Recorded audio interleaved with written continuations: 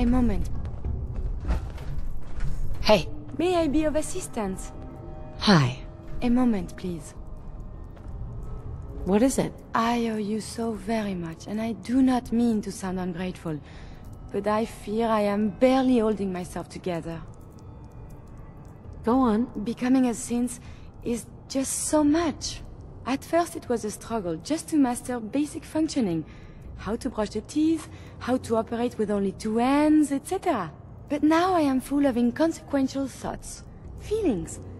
How do you do everything with this whirlwind in the head? I hope some of these inconsequential feelings involve me. Mm, yes. No. And see, now my head goes ever more. Spin, spin, spin. You make it look so effortless. Like breathing. But for me, it is so hard to focus. To do research. And inspiration is as elusive as ever. I fear I will never contribute anything to the world. Be patient. You'll work it out. In this maelstrom, it is hard to see the shore. The saving grace in all of this is you.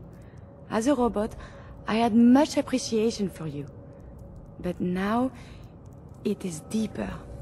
I am still loyal. But now I do this because I want to. Because you are... my friend. So, just friends? Nothing more than that? I feel... very funny. I must cut this short. My eyes, they are malfunctioning. Adieu.